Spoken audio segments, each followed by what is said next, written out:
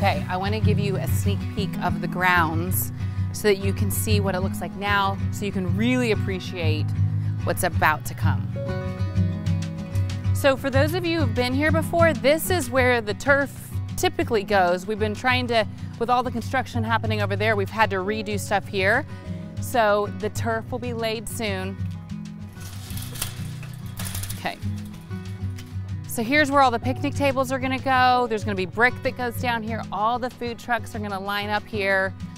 So now the whole block is this full experience. When you step into here, the first thing you're gonna see, well, you'll see the church, but is Chip's wiffle ball field. And you'll see the um, awnings have gone up, the seating's about to go in, the turf, more food trucks right here, the concession stand. And then you see the back of the church that just got painted. Um, this church is, and I stepped into it yesterday and it just, it took my breath away. There's something about it that feels so special. So the fact that all these pavers are going in is almost like tile work. That means you're that much closer to the job being complete. And once the pavers go in, then we can install all the landscape and then we're done.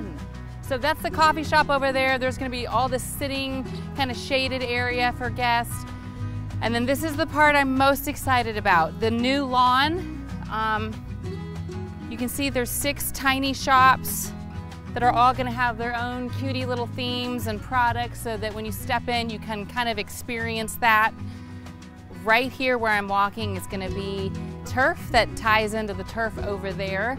Um, this nice green lawn that'll be lined with beautiful oak trees that all kind of lead up to this old historic church. Um, when we first bought the silos, we loved the historic landmark of the silos themselves and we built everything around them. Well, when we purchased this parking lot, we really didn't feel like there was anything on here that felt special. Obviously, the baseball fields that were back there, that's historic.